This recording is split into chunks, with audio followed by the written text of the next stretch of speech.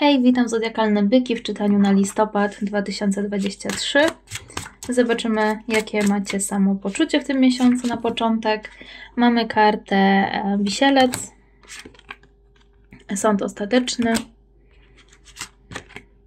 Sprawiedliwość i karta Umiarkowanie. E, ok, czyli widzę, że dobra pasa e, dla Zodiakalnych Byków trwa nadal. Mm. Hmm. Co my tutaj mamy? Um, aż w sumie nie wiem nawet od czego zacząć, bo takie mam poczucie, jakby wszystko po prostu było dobrze, wszystko się układa, więc um, zobaczmy, co mamy dalej, bo. Um, no właśnie, karta sąd ostateczny po raz drugi. Um, więc tutaj z tą kartą wisielec i y, sąd ostateczny, być może wpadniecie na jakiś nowy pomysł w tym miesiącu, e, jakieś takie, wiecie, oświecenie. Mm, nie wiem, może odnośnie pracy na przykład, znajdziecie jakiś, wiecie, nowy pomysł, co chcecie robić w życiu, jakąś nową ścieżkę kariery, albo jakieś nowe zainteresowanie, albo może to być też jakaś sytuacja, która, wie, wiecie, przeczytać jakąś książkę taką e, z rozwoju osobistego, obejrzeć jakiś film, coś takich rzeczy, coś, co pomoże Wam zmienić perspektywę albo poszerzyć Waszą perspektywę, Wasze spojrzenie na świat, na życie, tak ogólnie mówiąc, nie? E, może to być coś, co może mieliście jakieś ograniczające przekonania w jakiejś kwestii, i może właśnie pojawi się właśnie jakaś taka informacja, czy staniecie w jakiejś sytuacji, w której mm, to ograniczające przekonanie jakby się przetransformuje, tak? Przestaniecie może wierzyć w coś, co e, bardzo was ograniczało. Nie wiem, dla taki ogólny przykład, e, powiedzmy z pieniędzmi, często ludzie, którzy nie mają pieniędzy, mają w sobie takie założenie, że pieniądze E, są złe, albo przynoszą nieszczęście, albo że wszyscy bogaci, jak ktoś ma pieniądze, tak, to jest na pewno złym człowiekiem, albo złodziejem, albo takie rzeczy. Więc czasami to jest jakieś takie, wiecie, mocno zakorzenione w nas ograniczające przekonanie, może to być oczywiście na każdy inny temat, nie, niekoniecznie chodzi o pieniądze, e, ale takie mocno ograniczające przekonanie, które uwierza, uważamy za świętą prawdę, tak? Bo od dziecka po prostu otaczaliśmy się osobami, które powtarzały to samo, tak? Na całe życie patrzyliśmy przez pryzmat tego przekonania i, mm, i są takie momenty w naszym życiu, gdzie dowiadujemy się czegoś, poznajemy kogoś, kto jest jakby reprezentuje totalne przeciwieństwo jakiegoś naszego przekonania E, i nagle nam się to rozmywa, tak? I dzięki temu uwalniamy się od czegoś, co nas mocno e, w życiu ograniczało do tej pory. Więc jeżeli tak na razie jak patrzę na te karty, to mam poczucie, że e, no nie pojawiają się tutaj, nie mówię, że może cały miesiąc będzie, wiecie, wszystko idealnie dla wszystkich, zawsze są jakieś zloty i upadki, ale mam poczucie, że nie będzie jakichś takich, wiecie, mocno negatywnych spraw w waszym przypadku, E, raczej coś na zasadzie jakiegoś rozwoju duchowego, rozwoju osobistego, coś takich, wiecie, wyższych, um, z wyższych tematów.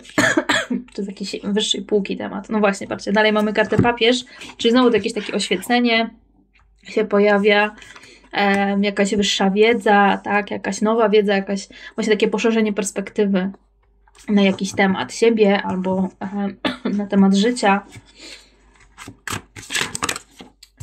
Dalej mamy kartę Słońce i zobaczcie, też ta osoba ma takie rozłożone e, ramiona tutaj, tak? I, I to Słońce znowu coś takiego mocno, podobnie jak tutaj ta e, taka zjawa, ta dusza tutaj, która wylatuje. E, coś takiego mocno uwalniającego wydarzy się w tym miesiącu dla Was. Też mamy kartę umiarkowanie, która symbolizuje uzdrawianie, więc coś wiecie, właśnie pod takim kątem uzdrawiania, ale duszy, coś takie, wiecie, oczyszczająco mocno, e, jakieś takie wydarzenie, może na jakieś warsztaty pójdziecie, albo jakąś sesję będziecie mieli z kimś, tak? Albo no właśnie czasami jakąś książkę e, przeczytamy, która mm, odmienia nasze życie, tak? Sposób patrzenia na, na, na nasze życie. Paść kielichów dalej. Dziewiątka mieczy i czwórka buław. E, karta gwiazda, czwórka mieczy. I trójka mieczy, ok. Czyli są tutaj jakieś um, jakieś um, zmartwienia, jakieś smutki, ale mam poczucie, że to nie będzie na takiej zasadzie, że jakaś nowa sytuacja się pojawi w waszym życiu, która pobudzi w was te emocje, e, tylko że przez pryzmat tej nowej informacji, tej nowej wiedzy, którą zdobędziecie, to was właśnie uwolni tutaj od jakiegoś smutku, od jakiejś rozpaczy, od jakiegoś wewnętrznego konfliktu, od jakiegoś rozczarowania. Um, wiecie, czasami to jest ktoś wam może złamał serce, jakaś osoba wiele lat temu i nosiliście cały czas sobie ten ból. A teraz um, przeczytacie jakąś książkę, albo porozmawiacie z kimś, albo może spotkacie tą osobę i porozmawiacie z tą osobą i się okazuje, że w sumie myśleliście, że jesteście, wiecie, mocno zranieni i cierpieliście przez te wszystkie lata, a później po krótkiej rozmowie e, z tą osobą okazuje się, że w sumie już tak naprawdę to, to, dawno wygasło, że tylko samo wspomnienie tej sytuacji was raniło, a tak naprawdę nie ma tam już żadnych emocji, tak? I to jest też uwalniające mocno. Czyli jakby nie czuję, żeby pojawiały się tutaj um, takie trudne emocje, jak ta trójka czy dziewiątka mieczy, które nam się pokazały, że raczej to jest na takiej zasadzie, że coś was uwolni od jakiegoś starego bólu, od jakichś starych rozczarowań. Coś może gdzieś tam z was wyjść trochę, no bo często jest tak, że jak pozbywamy się tych negatywnych emocji, no to je odczuwamy, tak? One, wiecie, technika uwalniania na przykład Hawkinsa, no te emocje po prostu trzeba poczuć, więc one z nas wychodzą. E, ale wiecie, no im więcej ma się świadomości na temat tego, co się dzieje, tym jakby to jest nadal bolesne, tak, ale to nie jest takie rozpaczliwie bolesne.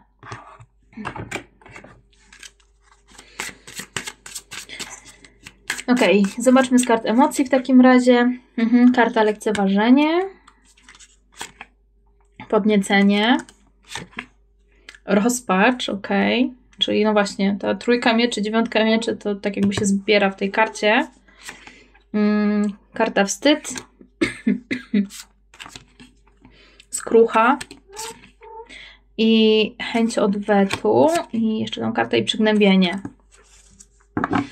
Więc mamy tutaj trochę, no właśnie, i tutaj mamy kartę triumf na dole, no dokładnie, więc jest trochę takich negatywnych emocji, ale tak jak mówię, to nie jest na takiej zasadzie, że będą jakieś trudne sytuacje się pojawiać, które będą Was wywoływać te trudne emocje, raczej będzie to jakaś mocno uwalniająca sytuacja, tak? No właśnie jakieś warsztaty mocno oczyszczające, gdzieś tam z pracy z emocjami, czy jakaś sesja, jakaś książka, coś co, um, rozmowa właśnie z jakąś osobą, która mocno e, zmieni Wasz światopogląd i przez to uwolni Was od tych trudnych emocji, które gdzieś tam za Wami krążyły przez wiele lat. ok. I z kart porady mamy kartę piękno. I karta powiedz, co myślisz. I zobaczcie, też tutaj mamy um, piękno.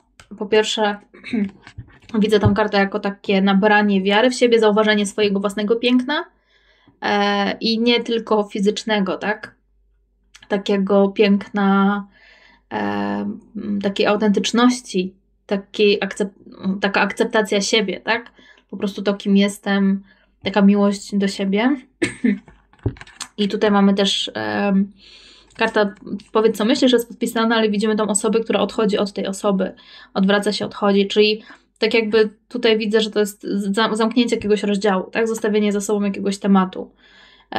Też powiedz, co myślisz, no to często jest tak, że jak wypowiemy na głos to, co nas naprawdę boli, e, to dzięki temu się uwalniamy od tego. Tak jak mielimy ciągle w głowie jakieś historie z przeszłości, opowiadamy w kółko, co nam się wydarzyło, ale nigdy nie powiemy, jak się tak naprawdę poczuliśmy, e, no to w kółko przerabiamy te same emocje. A w momencie, w którym powiemy po prostu wprost, czuję się tak i tak i nazwiemy rzeczy po imieniu, e, uwalniamy się wtedy od nich, tak? Więc coś, e, e, więc może to być taka wskazówka jako porada, żeby się uwolnić właśnie od e, tego, co Was gdzieś męczy, chociaż raczej mam poczucie, że te karty tutaj już nawet nie jako porada, tylko e, takie potwierdzenie tego, o czym tutaj już mówiłam do tej pory. Więc kolejny fajny miesiąc w Waszym życiu. E, gratuluję. No i trzymam kciuki za to, żeby było dalej lepiej albo jeszcze lepiej. Ok, więc wszystkiego dobrego i do usłyszenia niedługo.